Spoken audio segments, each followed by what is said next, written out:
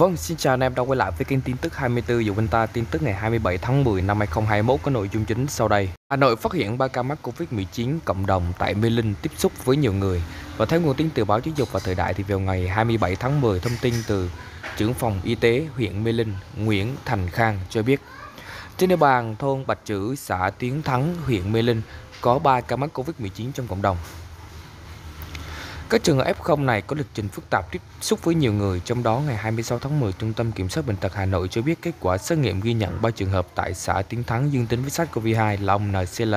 sinh năm 1959 và anh NDC, sinh năm 1991,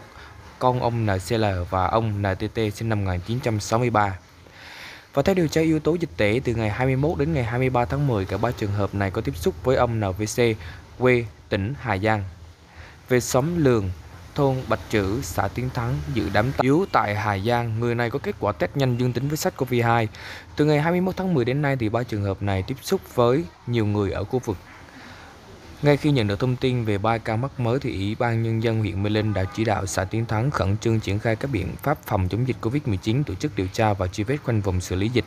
và thực hiện chỉ đạo của Ủy ban Nhân dân huyện Trung tâm Y tế huyện Mê Linh đã cử đội đáp ứng nhanh tiến hành khoanh vùng điều tra tiền sử tiếp xúc của các trường hợp nghi mắc Covid-19 truy vết tiếp xúc gần. Kết quả lực lượng y tế đã rà soát được 49 trường hợp F1 và